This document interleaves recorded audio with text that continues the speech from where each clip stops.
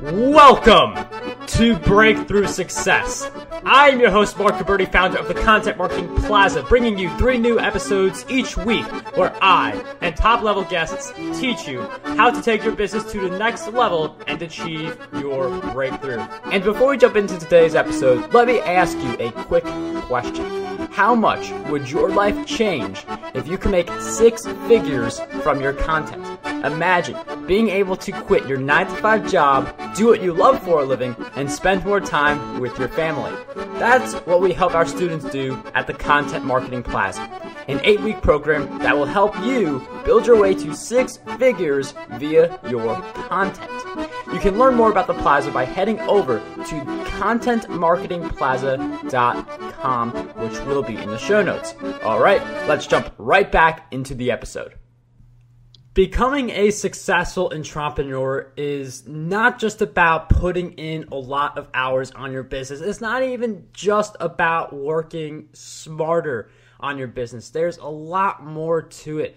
And one of the uh, added things that you have to do, one of these uh, things that we all know is important but may not necessarily uh, make it into a lot of people's busy lives is uh, this whole idea of getting stronger physically through exercise, really training your mind on the mental side, and also keeping your emotions in check. So, if you want to be successful as an entrepreneur, keep hustling, keep working smarter, but also prioritize uh, your physical shape, prioritize your mentality, and prioritize your emotions as well. So, those are the three key areas that we are going to jump into in this episode. Today's guest, who will be joining us today, he is the strength architect who helps people get stronger, motivated, and feel empowered.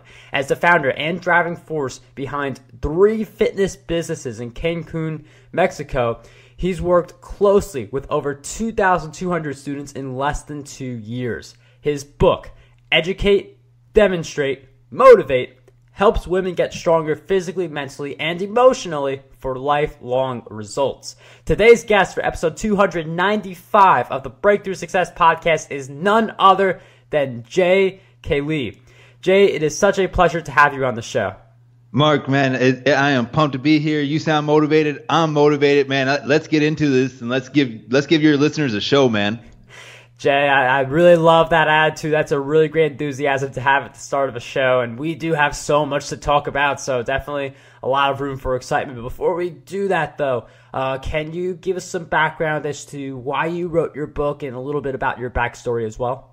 Oh yeah, absolutely. The I tell you the truth, the main reason that I wrote my book is that I wanted it to be the last book that anybody would ever need when it came to like fitness, nutrition, and try to trying and getting and staying motivated. Right? You always see this. I mean, if you look on Amazon, there's probably what over 150,000 different books if you combine like fitness, exercise, dieting, nutrition books. There's hundreds and thousands of books, but they're all usually just one little piece of information and they expound on it, right? So they take one small thing and they make this 100 page book about it, but it only tells you one thing. They don't solve all the things that come to actually creating a lifestyle. And I wanted to do that. And I wanted to do that in under 100 pages. And the great thing about that book also is I include a whole year of training included in there. So, I mean, there's absolutely no excuse not to get started and to be the best version of yourself.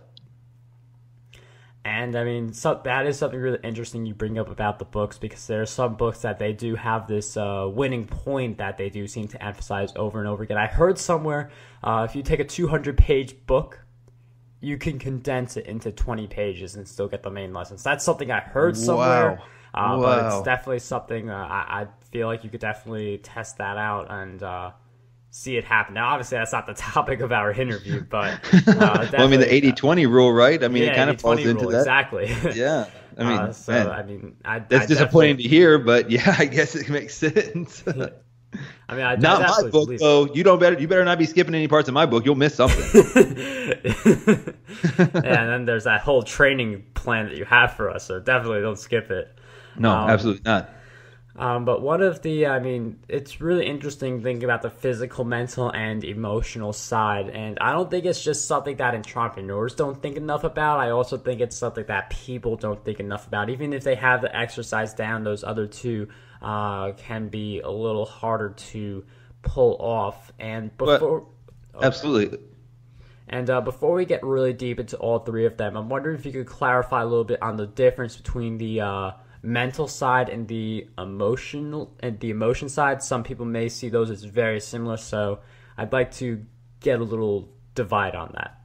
Absolutely. I mean, I, I think there it, there comes into you know two different states almost. I mean, you have a mental aspect of the motivation side also, and, and how you mentally treat yourself. Then there's the emotional aspect where you know sometimes you just don't feel like doing things. Sometimes you're just not in a good state to even perform or want to do anything, and maybe it's time to rest and stuff. So I think there's a very big difference between an emotional state and being motivated in an emotional way, and then trying to be motivated in let's say even a mental way, and then getting yourself motivated motivated mentally. I think those are two huge differences. Uh, thank you for uh, giving us that uh, clarity on those two differences. I just wanted to address that going into the episode for anyone who um, maybe thought those two were very similar. Uh, so now we'll like uh, really get really deep into these uh, important topics, and I feel like in some cases people get the idea, okay, I need to be physically stronger. I need to have this mental approach that uh, really helps with my improvement, and I need to have the emotional locked up as well. So, uh, how exactly do we get consistent at implementing the right behaviors and doing the right actions? Ooh, that's a that's a hard one. I like this one. Okay, I think uh, you know consistency just builds with over time, and I think we have to figure out what actually what actually motivates you. And and and you notice that a lot of people are, are motivated in a lot of different ways. So there's a lot of things that you can do to also set yourself up for success. Um, you can do things like planning, having a plan of doing things. Okay, what am I going to do? What am I going to wake up and do on Monday, Tuesday, Wednesday, Thursday, Friday, Saturday? What am I going to eat Monday, Tuesday, Wednesday, Thursday? It might not sound like the most funnest thing, but it's a way to can start start to start building consistency in yourself. The other thing you can do is get a buddy. You know, find somebody reach out to somebody. It's almost 2019. There's going to be a ton of people who are like, I just need to get in shape. I just need to get in shape. And there's going to be a lot of coaches pitching you a lot of stuff to make you buy things. The thing is, is you can just get somebody, uh, an accountability partner, and usually that's what most people need. They just need a, a friend. They need someone who can they can call on and they can call on them, not someone who's going to flake out on them all the time. And now most of the time though, that get you get that group by working with the coach, which I'd say would be the third option to increase your consistency and building good habits. You know, having having a good coach there who's actually helping you, growing you, building you, not a coach or not a trainer that's, you know, not telling you everything because they're trying to keep you dependent on them because they need a paycheck. You don't need that in your life. You need someone who's actually going to teach you, help you, and, and let you grow. Um, really awesome stuff. I like the uh, accountability because I mean you could figure out how to do some things on your own, but it's just a matter of time before uh, you hit a cap and you really need someone else to help you. I mean, I've seen it uh, with me. Like I with this podcast, I had a coach at some point, and uh, he really helped out a lot. And you see some of the most successful people who are making seven, eight figures, they're spending a hundred thousand, two hundred thousand dollars a year just on coaches. So. Uh, that like the accountability is really good to get you to take action and getting a mm-hmm. coach can really help you uh, get to the next level. So I mean, a lot of great insights in that answer. And um, I, I mean, um, like we have the consistency down. I think the physical, I mean, it just comes down to just putting in the work each day, uh, exercising. I think a big weakness though is that entrepreneurs are so busy. I mean, you mentioned. I mean, I mean, I know that you had three fitness businesses. So, how do you find the time in your day to exercise and make that a part of your ritual? You know, I, I, don't think this. I mean, no doubt entrepreneurs fall, fall, into this category huge, but who doesn't? Who's not True. busy?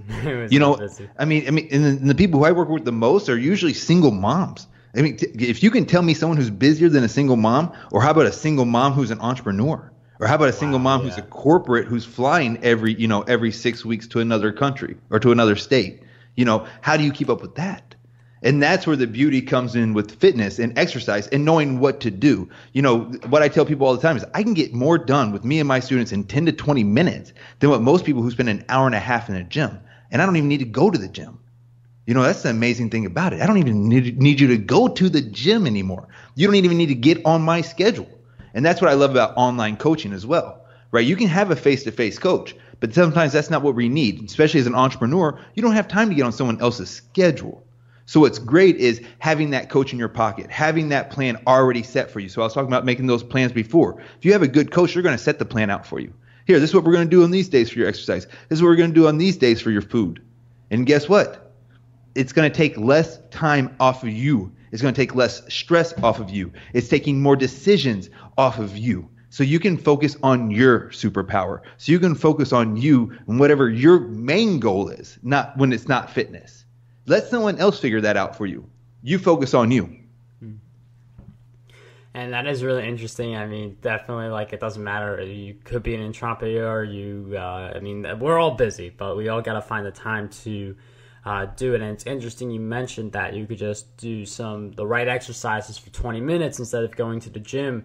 Uh, because some like if you're in the gym by yourself, maybe you don't have the same kind of direction. You don't know the best moves to do to target the right areas of your body. So uh, it's definitely something where if you have that more directed uh, targeted approach for 20 minutes that can uh, reap more benefits than spending an hour and a half in the gym. So it's definitely exercise isn't something that uh, you could definitely go really deep into it, but it can be something that can be accomplished in 10 to 20 minutes also. Uh, you know, honestly, Marc, I'm a big believer in the minimum effective dose right? Like if you have a headache, you have an issue, you know, you get grab the aspirin bottle, you see it says, "Hey, take 2 aspirin." You could take 50, Hmm. Right? If you take 50, it's going to get rid of that headache faster, right? Right. Or it could kill you.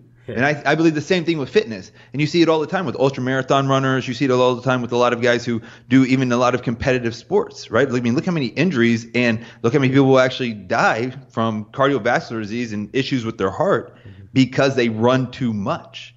I mean, this does happen, right? I mean, it's just so you have to know what's the minimum effective dose for what you're trying to achieve. What's your goal? And most of the time, most of us, we just want to look good. We just want to look good naked. We want to have more energy. And we just want to be able to go dominate our day, kicking down doors, not laying in a puddle of sweat, trying to make those calls. You know what I'm saying? That's not our goal, right? right. So you got to figure out what that is. You got to figure out and have someone to, to make that effective, you know, get that effective and that efficiency into your training, just like anything else.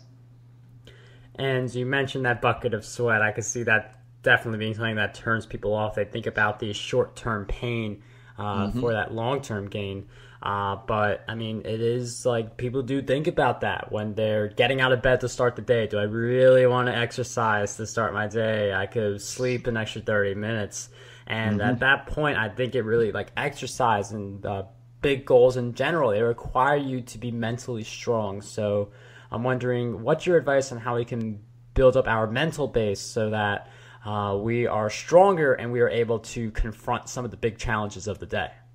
Well, I would say the first thing is it's not really the Marines, right? It's, it's not true that pain is weakness leaving the body, right? That so we can scratch that line off the list of oh well, it's got to be painful in order to see results. I mean, the crazy thing that I tell people is I do some of the most basic, easiest, simplest stuff, and one of those things being my majority of my cardio includes walking, just walking. Wow just getting out and walking my dog for 30 minutes. I mean, so uh, when we really think about fitness and what it is and how to how to get us where we want to go or even get motivated to do it, we have to figure out what we like and what we enjoy and realize that more than likely it's not as bad as what it's going to be. And just like business, all business is is delayed gratification. And that's the same thing with fitness to an extent. You go through some part, but you're looking at what are the gains you're getting from it. You know, you know you're going to feel better after you do it. You know that. You know that even if you give 20 minutes, 30 minutes of exercise, you know you're adding days, if not years, to your life as you build up consistency.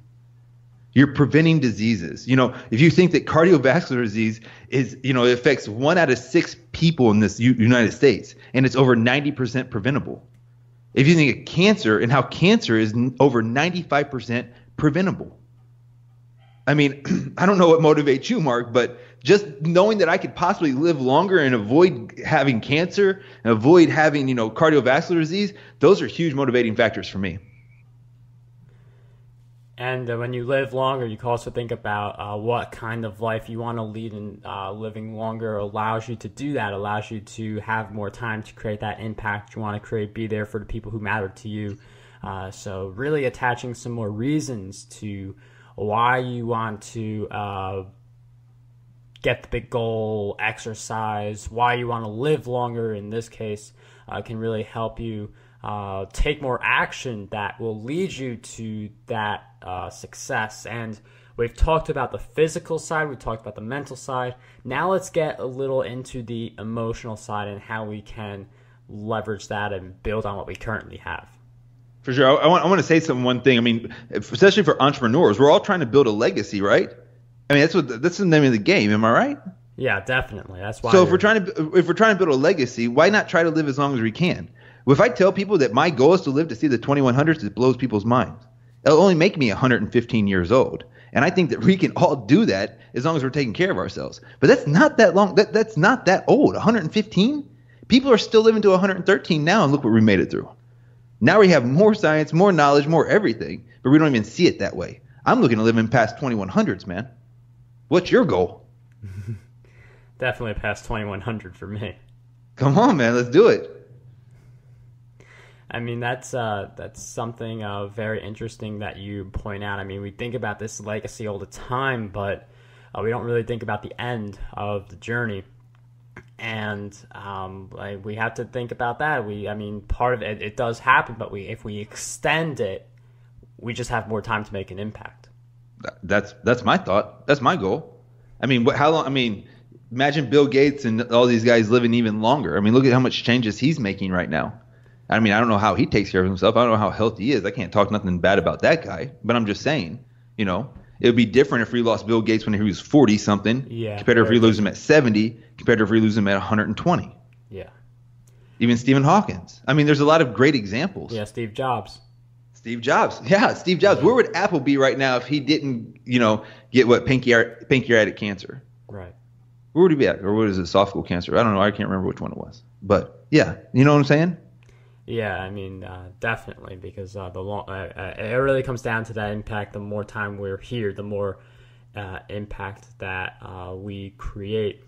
And um, and what's more motivating than that, bro? Come on, Marc. what's more motivating than that, man? Come on.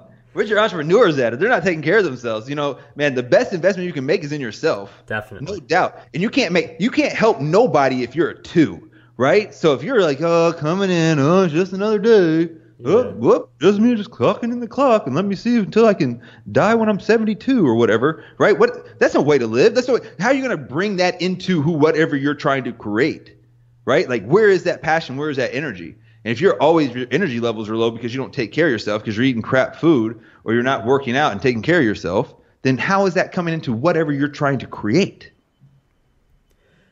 And, Come on now. I, I would like to expand on that idea of taking care of ourselves because I mean I know you uh, help women and uh, that mother nature of uh, uh putting the child first. Uh, that I mean I, I, can't, I can't say that I can't say that all mothers have that. I'd say that a lot of them do.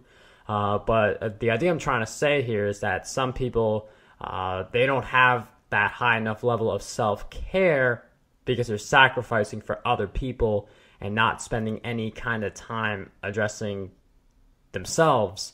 So I'm wondering how do we find more time to actually care for ourselves, uh, and how do we uh, do that in the case where we are sacrificing for someone else, but still find the time to uh, for ourselves. You know, I mean, you you bring up a great point there. I mean, especially with, and I do help a lot of women, and specifically moms. And the crazy thing with certain women right now, and, and you know, women at a certain age, they not only are they taking care of their kids, who or maybe even their adult kids at this point, but more than likely they're also taking care of their parents. So they're in this weird in between phase of man, they're they're split between working a full time job, let's say full time corporate job, right, or whatever job you want to say, something that's taking them out of the house for ten hours at least a day, and then we look at you know they're t- they have to worry about their their their parents, their mom or their dad who has some type of issue going on from dementia to who knows, you know, Alzheimer's to who knows what else they could be going through. And then they're taking care of their kids who are going through high school or going, you know, trying to go to college and they're worrying about becoming empty nesters. I mean, there's a lot, a lot that goes into that. Yeah, so where do you go? You know, I mean, how do you stay motivated for that? How do you find what's going to, you know, your emotional state and to and to dig deep into and to keep on trying to live your life, you know? What motivates that? How do you find that? What makes you not want to give up at that point?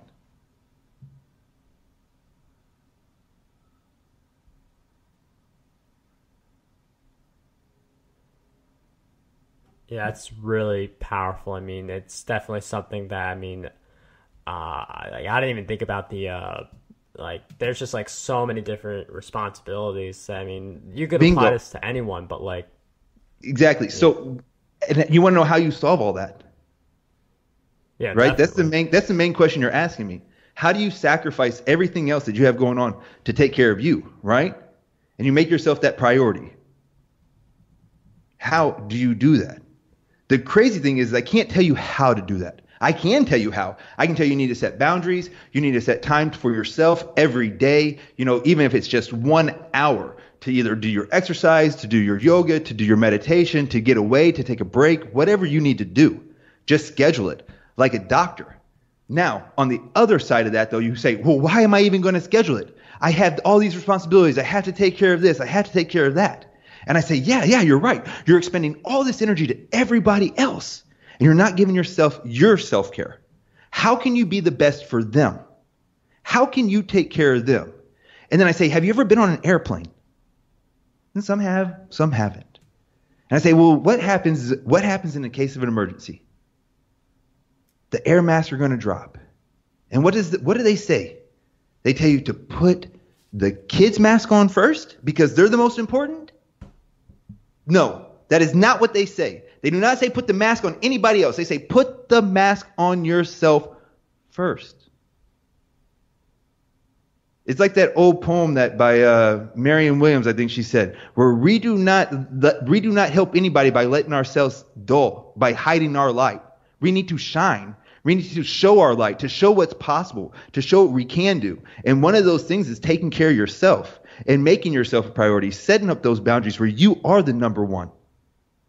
And all those other things start falling into place. I don't know how it is. I can't tell you how or why it happens, Marc. I call it the paradox of time, man. Because once you start figuring out how to set that one hour, that 30 minutes, whatever, to start taking care of you, everything else starts falling into place. People start working around you.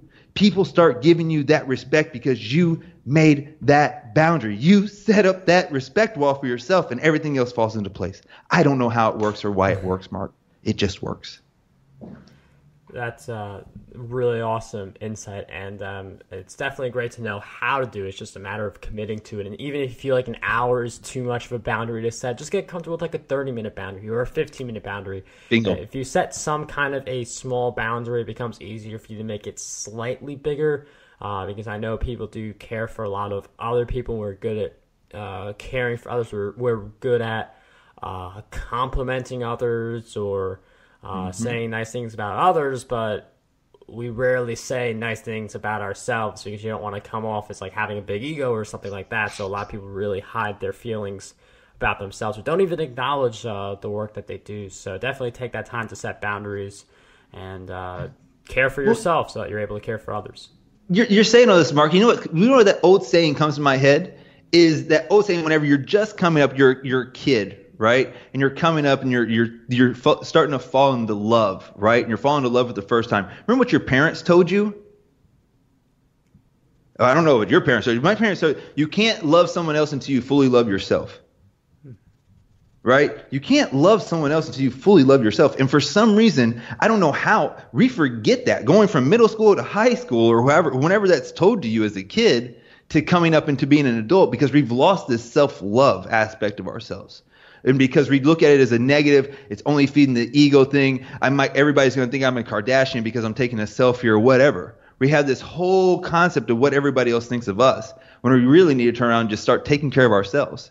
We make ourselves a priority, right? And we start taking care of ourselves. Then we start taking that focus and we start putting that attention to us. We don't have to show it to everybody else. But if we start doing it for us, it starts really shining through and it really helps. And it's not by you taking a selfie and posting on Instagram. Hmm.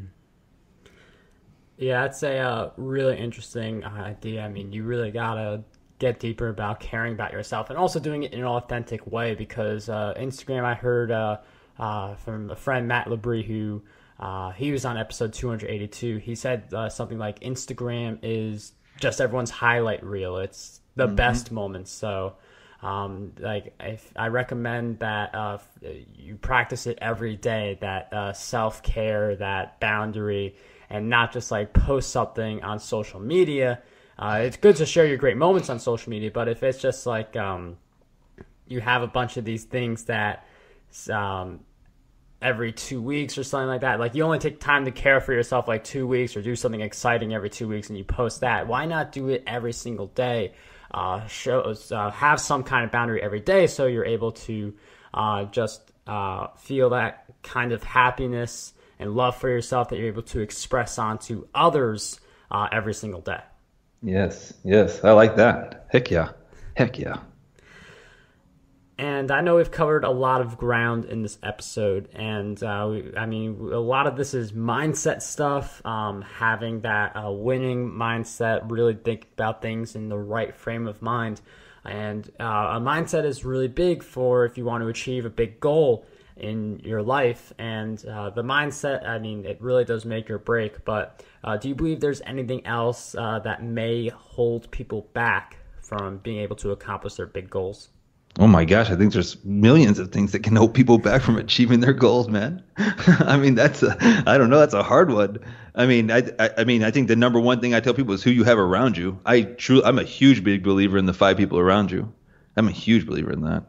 You know, and maybe that's just because of my relationships that I've had growing up in my life, you know, and where I've came from, and you know, things like that. And you don't realize some of the people who you think are your closest people can be the, you know, the ones who are sabotaging you the most. You don't realize it. Self sabotage also is a big one. You know, I've also uh, there's have you ever heard the term of uh, success suicide? You know, you start becoming so successful, so successful, you, you know, you start getting physically sick. Oh, I got a sore throat. I can't make these calls. Or oh, I got a, you know, my hip hurts. I can't go out and go, you know, go to this meeting.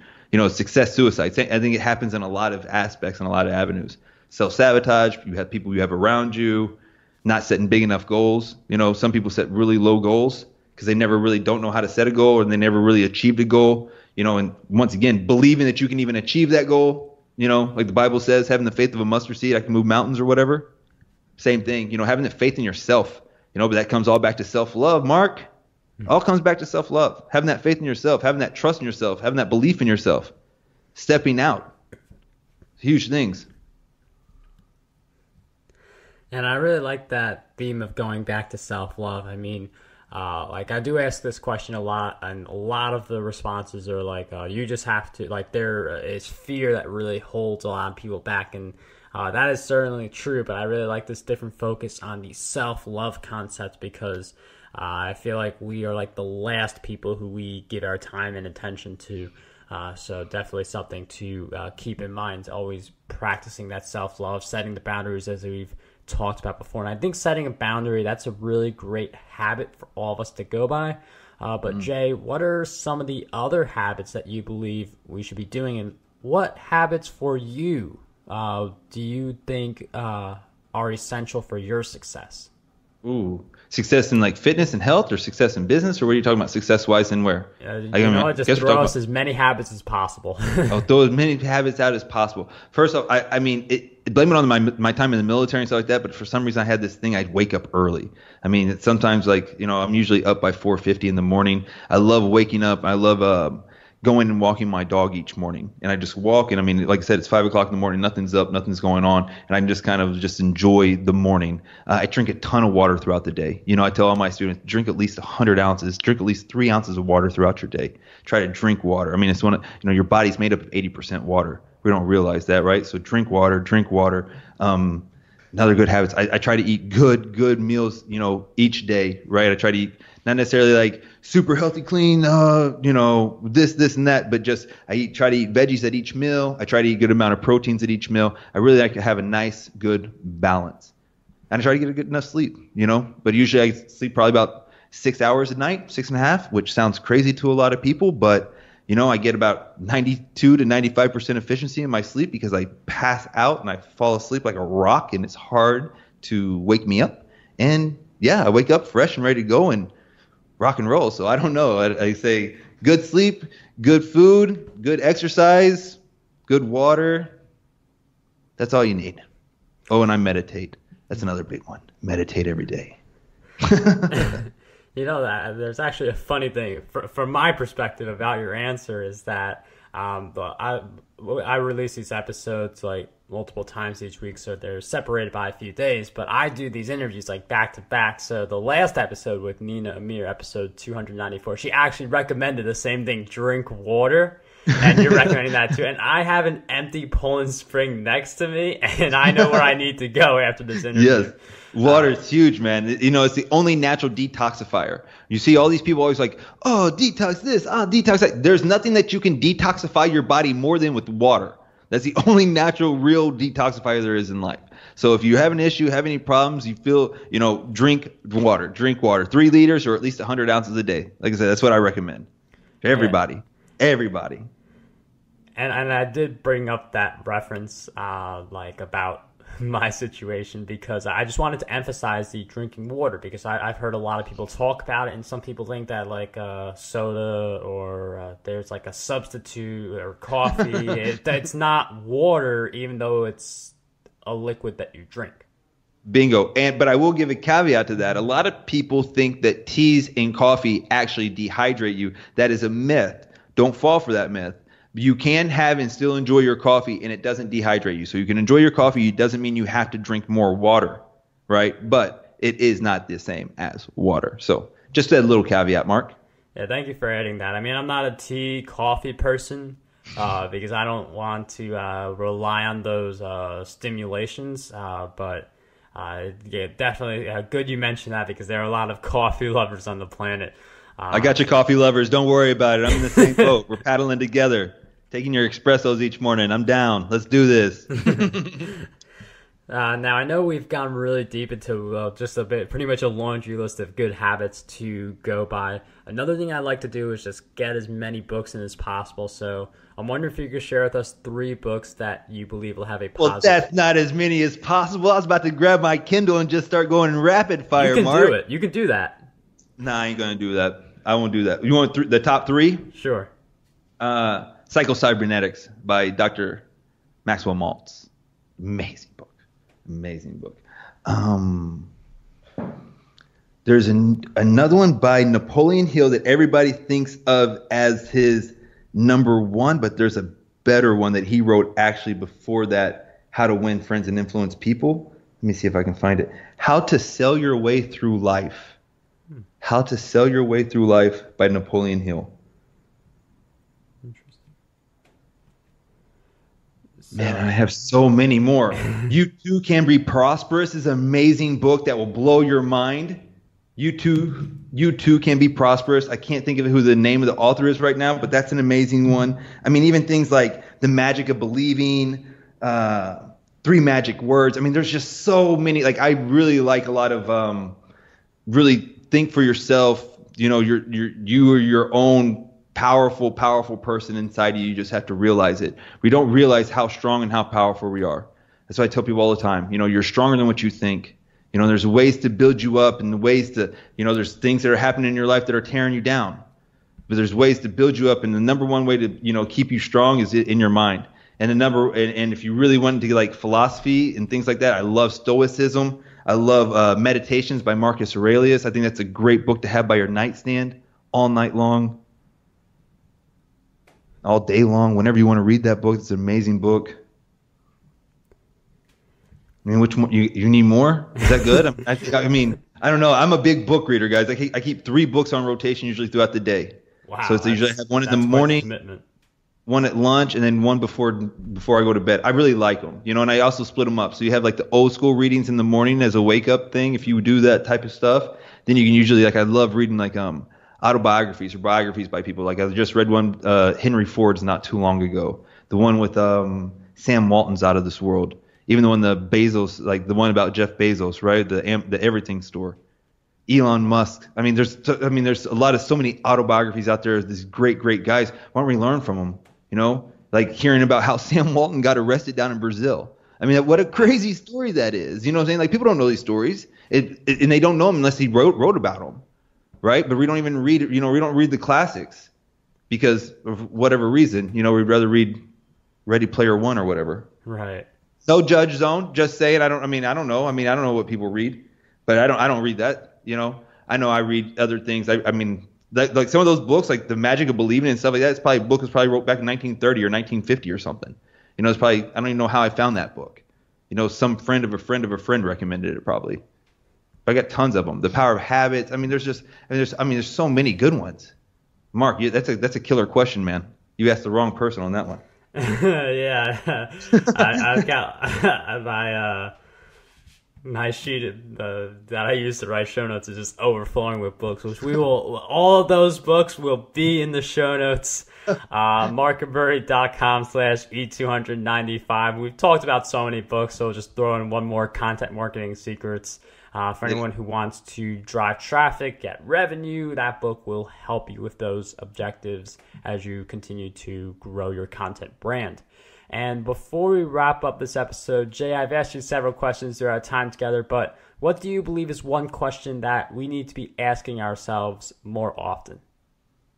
Whoa. Was one question we need to be asking ourselves more often? Hmm. Am I comfortable? I think that'd be the number one question. If you're comfortable, there's some, there's a problem in my opinion. And, it, and that doesn't have to mean you have to be constantly uncomfortable, like oh I'm sitting on the most hardest chair right. or whatever. It's just a matter of you know re- I think it's very easy for all of us to fall into a, a complacency. I guess would maybe be a better word. More of complacency, more of comfortability. Of you know life is good right now. Why why press more?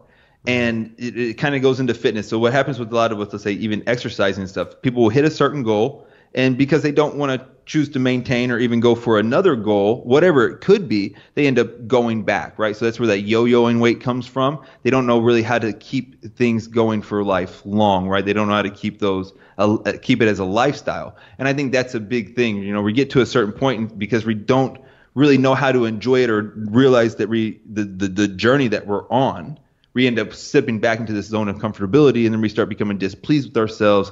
Things start going you know haywire. Let's say the business doesn't work as good. The sales aren't going through. You know my body's not looking like it should and you're under, wondering why and you're just you know more than likely you're just in a place of comfortability. Jay thank you for sharing with us that great question. All of your great insights to our time together. I know you have your Amazon bestseller. Word on the block is that you're offering it as a gift. So Oh, I'm wondering yeah. if you could share with us uh, where we can learn more about that. Well, I mean, I want to help your people out with breaking through to success, right? So I want to give your guys, you know, and all your listeners the opportunity to get this Amazon bestseller. What you need to do is just go to the website, Kali Coaching, K A L I coaching.com forward slash secret gift. All one word. So if you go to Kali kalicoaching.com forward slash secret gift, boom, it's yours. You can download it right now or get it shipped to you for 100% for free. Jay, thank you so much for uh, sharing with us that free gift, which will be in the show notes, and for really coming on and sharing so many great insights with us. It was such a pleasure to have you on Breakthrough Success. Awesome, Marc. Uh, it is pleasure. Thank you for having me. I hope, I hope your listeners got a lot out of it. Want to dominate the podcasting industry? Now you can with your free copy of my book, Podcast Domination. You'll learn how to launch, grow, and monetize your very own show. And whether you are a beginner or an expert, this book has a lot of golden nuggets for you. We'll cover the cost of producing this book. All we ask is that you cover the shipping. To get your copy, head over to marcguberti.com slash PD.